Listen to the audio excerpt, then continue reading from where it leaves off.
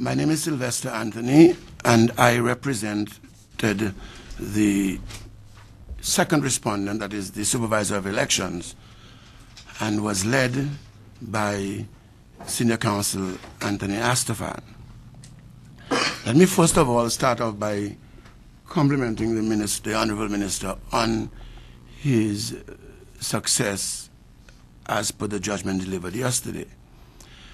I wore another hat in a previous time, that is in the, the 2004 election, when I represented Mr. The, who was then Honorable Rupert Herbert in an election petition brought again by Mr. Grant. There's a saying that three times, three strikes and you are out. This is Mr. Grant's fourth strike because he ran an election against Honorable Rupert Herbert. He lost. He filed a petition and he lost. He ran an election against Minister Phillip. He lost. And as we know, as of yesterday, he filed another petition and he lost again. But what is significant about those two petitions is that whereas in the first petition filed in which I represented Mr. Herbert, and in this petition in which I had the privilege of representing the supervisor of elections, in the first petition, 95% of the allegations were struck, and the remaining 5% went to trial, and there they were dismissed. In this petition, at the preliminary stage, every single allegation was struck out.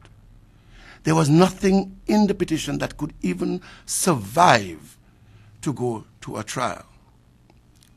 And that is what makes Mr. Grant's statement yesterday to the press that somehow this judgment was a mere technicality so outrageous and, to say the least, disingenuous.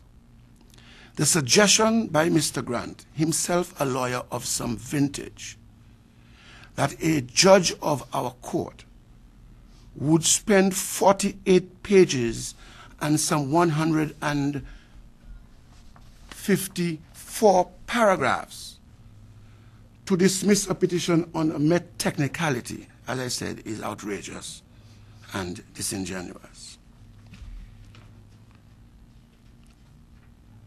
Let me now speak to the issues that were raised against the supervisor of elections, because there will not be another opportunity for me to do so, and so I want to, take, to, do, to do it now. This petition filed by Mr. Grant made some, what I can only describe as wicked allegations against the supervisor of elections. He repeated some of the very allegations he made, and I want to point out, for those of you members of the press who will read the judgment, as I hope you will, that whereas in the judgment delivered by Mr. Justice Bell in 2004, he made some comments and some recommendations for improvements in our electoral process. When you read this judgment by the, Madam Justice Hariprashad-Charles, you will see no such comments about the electoral process. In fact, I draw your attention to, to head note number six in the judgment, and I'll speak about it a little later, where Mr. Grant had alleged certain irregularities with regard to hearing of objections, which resulted in names appearing on the list in constituency number four that ought not to have been there. This is what the Honorable Judge said. I'm reading from page three of the judgment. Paragraph six. There is a comprehensive statutory regime to address these matters which should have been challenged before the election. That was the judge's conclusion in relation to Mr. Grant's allegations that were, he had objections that were not heard. And the judge pointed out in the judgment that he, Mr. Grant himself, in his petition, averred to the fact that Mr. Hamilton, Eugene Hamilton, had taken advantage of this comprehensive regime to challenge names on his list, which names were subsequently removed. That was what the judge concluded. So Mr. Grant didn't do his work. He didn't do the work that he had to do before the election. And rather than accept defeat, he alleges that somehow the supervisor of the elections was part of what he calls an, uh, a general policy, a general policy to, in local parlance, to cheat him from, from, from victory. So I want to start by, by his first allegation. His allegation was that the supervisor of elections carried out a policy of illegal voter registration. I said this is a wicked, this is a wicked allegation. That's the only word I can find to, to describe it. Carried out a policy of illegal voter registration, which encouraged persons to register and on election day allow them to vote in constituency number four in which they did not reside.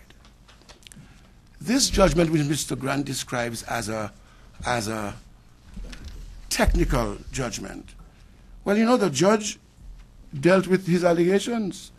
And I'll point you, members of the press, to page 30 of the judgment from paragraph 90.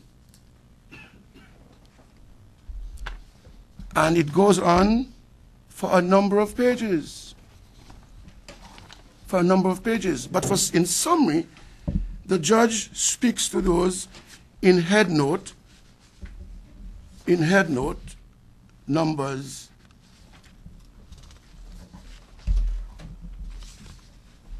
four, five, and six. Mr. Grant's petition, my friends, was and you, I, I, want to take some time to do that because I want the public to understand what went on here.